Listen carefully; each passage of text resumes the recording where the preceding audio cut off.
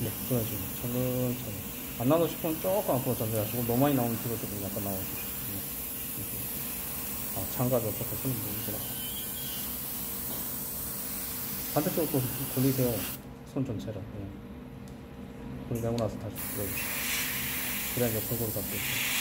뭉개지는 것 같으면 약간 좀 뒤로 오시고, 잘 안 나오고 싶으면 다시 뒤로, 좀 앞으로 오시고.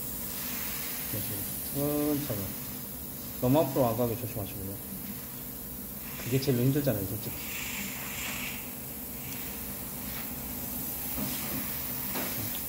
천천히.